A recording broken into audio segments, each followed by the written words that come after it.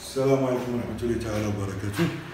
طلبوا مني مجموعة ديال الإخوان المتتبعين الدروس ديال الخط العربي كيفاش نهيو الأدوات ديال الخط؟ أنا غادي ندير واحد العملية بسيطة راه ممكن أي حاجة حداك أي سيبور حداك ممكن تردوا أداة ديال الخط قلم ديال الخط. غادي ندير واحد النموذج كيفاش من لا شيء غادي نخلقوا الأدوات كاملة ديال الخط وحتى الورق حتى هو اللي ماشي غادي نحاولوا نديروا العملية بصفر درهم نقولوا بسم الله أنا غادي ناخذ نموذج ديال شيتا الشيتات اللي كنرسم بهم نحاول نحيد ليها الراس.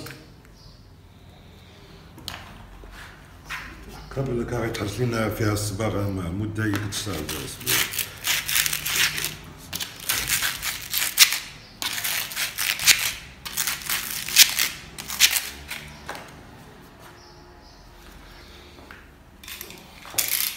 نشد موس ماشي بالضروري يكون هذا يكون غير يكون موس ديال المطبخ ولكن غير يكون ماضي. يكون ما يكونش نبداو هذه راه عصا ديال الشتاء ديال الرسم تذكروا معايا.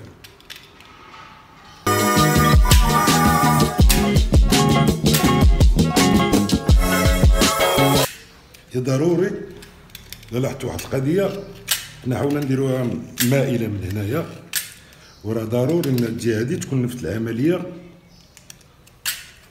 باش الراس ديال هذا العصا ديال الشتاء الرسم يكون سطح من الجهات هذه.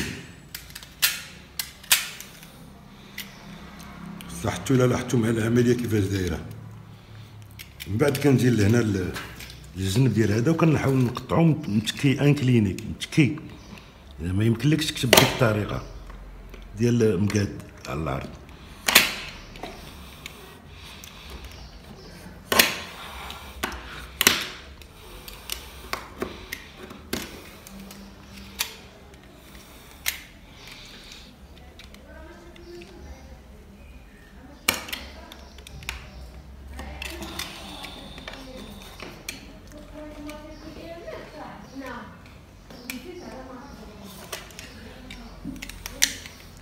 نعاودو نقادوها مزيان.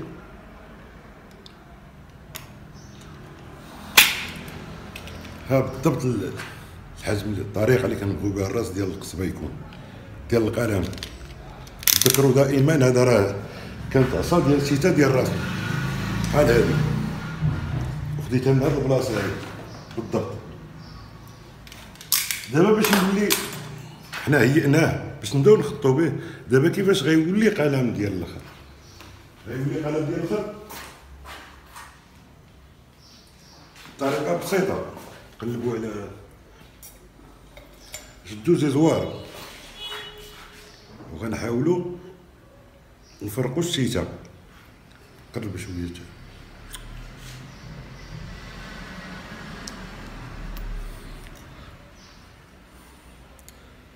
هذه الفرقة الأولى. حيت هذه عصا عريضة. ندير لها جوج الفرقات تما هي في القصبة كدير غير فرقة واحدة فرقة ثانية. جوج ديال الفرقات. دابا غادي ندوزو للمرحلة الثانية. كيفاش كنهيئو المداد؟ المرة اللي في واحد الفيديو كنت صحت لكم قلت لها ودي راه المداد إلا ما عندناش راه ممكن نهيئوه بواحد الطريقة أخرى. اللي هو القهوة القهوة اللي سريعه الذوبان كنديروا فيها شوية الماء وكنخليو واحد الفترة زمنيه نحاول هذه هي القهوة. ها هي راه سريعة الذوبان شوية ديال الماء غادي نخووه فيها. ونحاولوا نحركوا بالشيته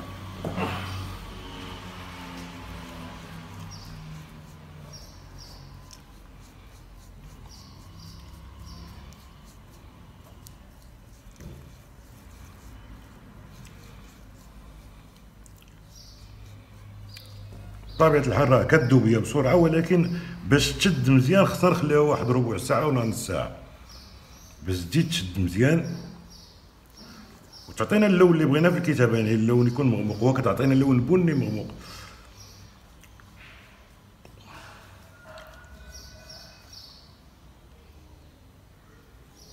دابا عندنا المداد عندنا القصبة اللي غادي نجربوه عندنا الورق. بالنسبة للورق راه ممكن تخدموا براقين يعني مكتوبين من جهة ماشي بالضروري وراق جداد لأن حنا غندربوا على الخط ما غاديش سميتو نديروا شي حاجة اللي بطبيعة الحال منين كتالي هاد العملية ديال العصا ديال الشتاء ديال الرسم. راه كتكون عامرة بالصباغة بكذا بعدا راه ممكن تلونها بلون معين وتعرف عليها وتعطيها شي جمالية معينة. خليو هذا يطلق واحد شوية ونعاودوا نرجعوا لكم هيئنا المداد وهيئنا القصبة والوراق قدامنا غادي نديروا التجربة واش القصبة كتكتب مزيان ولا لا. نقولوا بسم الله ونبداو. نقولوا نديروا البسمله نيت.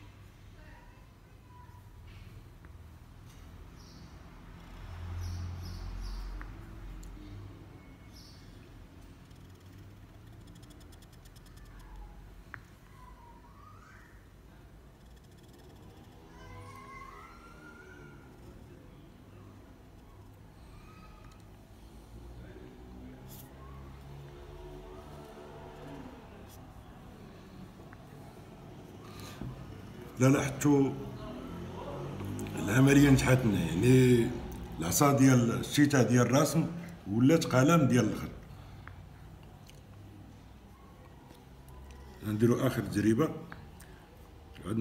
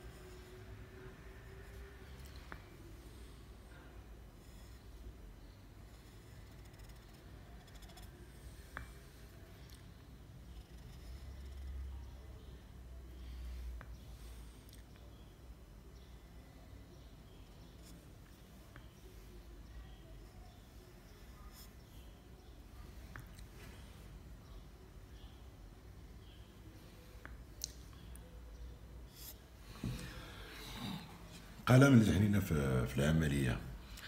كنتمنى أن الجزء الأول من الفيديو يكون عجبكم واستفدتوا فعلا كيفاش تهيئوا الأدوات ديال الخط العربي.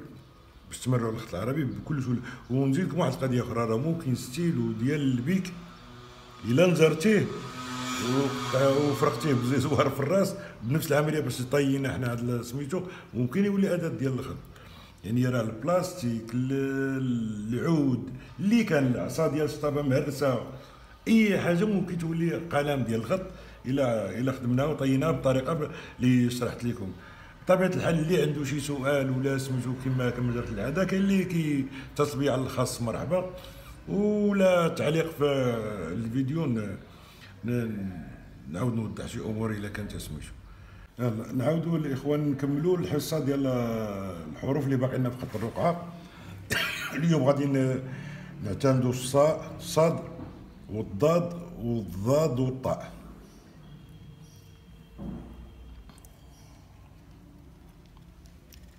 بطبيعة الحال كنخدموا بهذا القلم اللي عاد صاوبنا اليوم. شوفوا كيفاش كي يعطينا تفرقة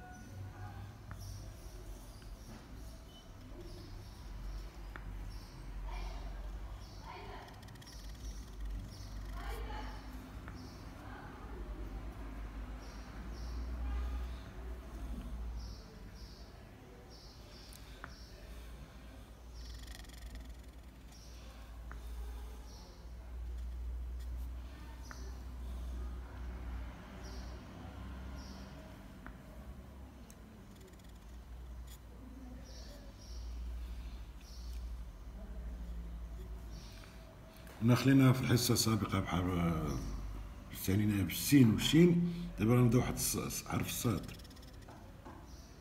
بداية الكلمة.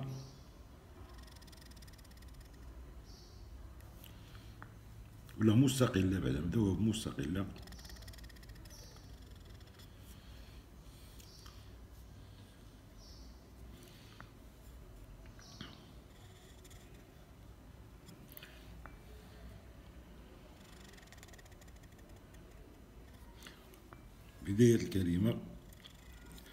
لاحظتوا واحد القضية راه في بداية الكلمة ولا وسط الكلمة راه ديما الصاد عندها هاد السنة هادي راه كتتحول كتولي حرف حتى هي راه حرف كنعتمدو في الكتابة. وردوها حرف الضاد إلا بغينا في نفس الوقت.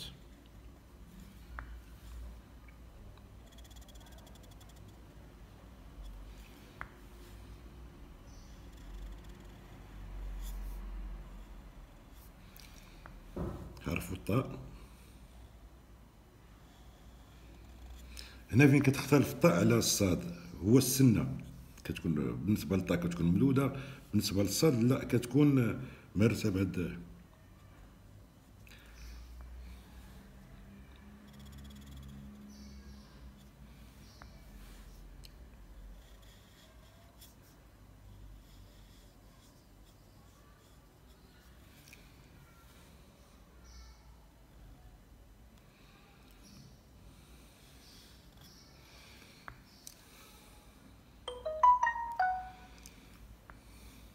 هاد بطبيعة الحال هادو راه مكتوب كتبتهم بالنص. ماشي بالرقعة. دابا غادي نديرهم لكم بالرقعة باش تجي العملية سهلة باش تشوفوا الفرق. الصاد بالرقعة.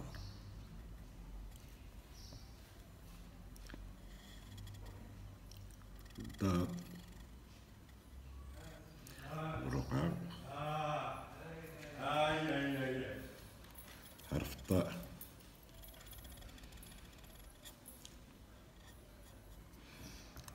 بالرقعة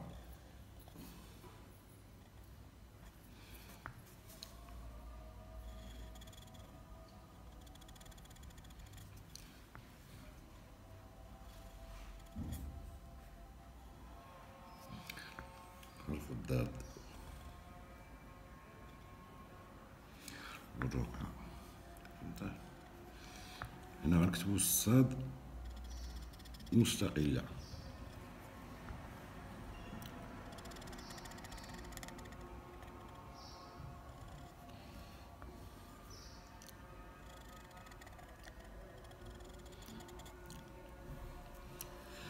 نتمنى أنا تكون استفدت تكونوا استفدتوا من العملية وعرفتوا الدور ديال راه السر ديال الخط هو القلم اللي كتصاوب.